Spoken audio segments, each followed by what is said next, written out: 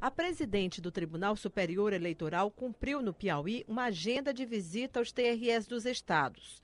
A passagem da ministra Carmen Lúcia ficou registrada nesta placa, no hall do prédio do Tribunal Regional Eleitoral do Piauí. Após a cerimônia, Carmen Lúcia se reuniu com o presidente do TRE e com os juízes que integram a corte do tribunal.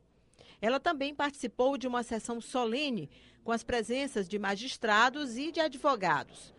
No discurso, o presidente do TRE, Haroldo Reim, destacou a necessidade de aumentar o efetivo de funcionários e dar mais estrutura à justiça eleitoral.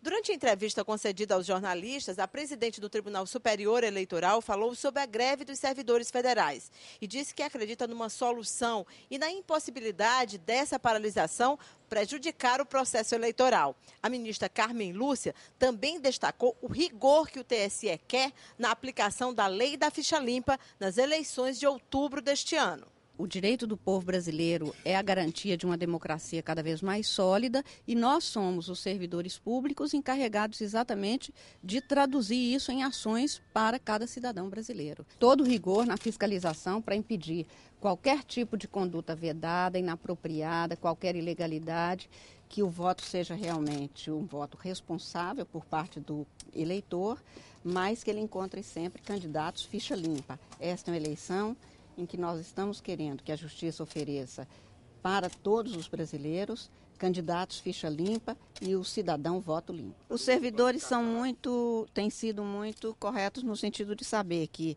o pleito legítimo de cada pessoa de lutar pelos seus direitos é legítimo, como eu disse, mas não é mais legítimo do que o direito do povo brasileiro de ter eleições com lisura, moralidade, celeridade garantido nos termos que a Constituição estabelece. Os servidores são todos muito conscientes disso. A senhora vai negociar ou articular, não sei se negociar seria uma palavra, vai atender o pleito, vai conversar com a, a comissão de servidores para tentar tenho recebido todos os servidores encaminhados, mas quem fala pelo, pelos servidores do Poder Judiciário é o presidente do Supremo Tribunal Federal, que é o único que pode falar. O que eu tenho feito é recebido os pleitos dos servidores que trabalham especificamente na Justiça Eleitoral, encaminhado ao ministro Carlos Brito e tentado todos os esforços para que sejam atendidos.